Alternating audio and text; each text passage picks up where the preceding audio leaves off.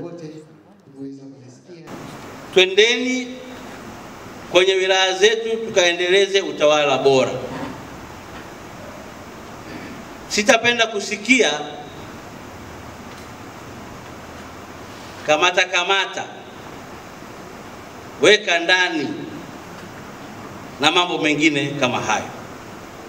Tukienda kwa utawala bora, kwa maneno ya viongozi waliosema hapa, mtaishi vizuri na mtafanya kazi vizuri kwenye wilaya zenu.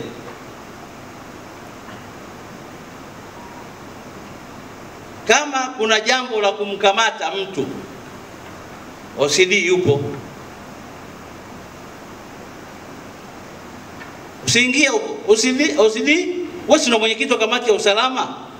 Kama kuna mtu mkorofi huko, tumeshindana naye, wewe kaa pembeni, OCD yupo. Kwanza kabisa namshukuru Mheshimiwa Rais wa Jamhuri ya Muungano wa Tanzania kwa kuniamini na kuniteua kuwa mkuu wa wilaya ya Same.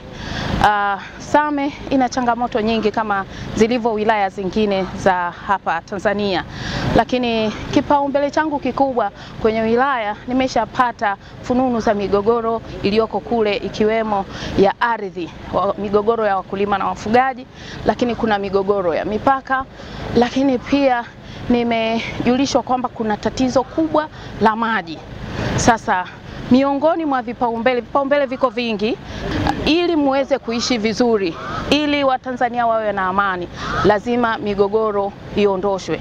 Sasa kazi kubwa ni kwenda kutatua kero za wanasami kuhakikisha migogoro ya wakulima na wafugaji inaondoka, lakini pia kuhakikisha nawasiliana na wizara husika kuhakikisha tunapata maji, kwa sababu Same kuna tatizo kubwa la maji, lakini pia kuhakikisha kama mkuu wa wilaya ukusanyaji wa mapato. Rais wetu ameleta miradi mingi sana hapa nchini ikiwemo Same, wamenufaika na miradi mingi sana ambayo rais wetu anakuwa amekuwa akitafuta fedha eh. Sasa basi ha, nina halmashauri yangu pale, nitahakikisha ninasimamia ipasavyo ukusanyaji wa mapato na kudhibiti uvujaji wa mapato, ili sasa mapato yaweze kupatikana kwa wingi na miradi iweze kuendelea kwenye wilaya yetu. Asante sana.